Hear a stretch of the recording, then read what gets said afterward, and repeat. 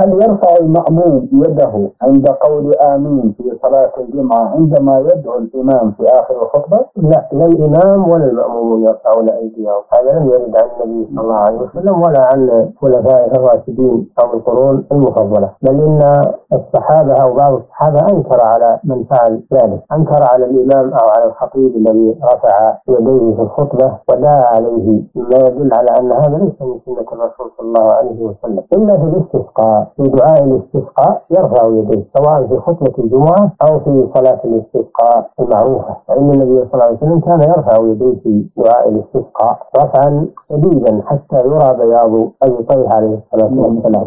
هذا في دعاء الاستسقاء خاص سواء كان في خطبة الجمعة أو في خطبة الاستسقاء. أما الدعاء الذي في صلاة الجمعة لغير الإسقاء فهذا لا ترفع فيه الأيدي لا من الإمام ولا من المأمومين. فمن فعله فإنه يكون مبتدعا.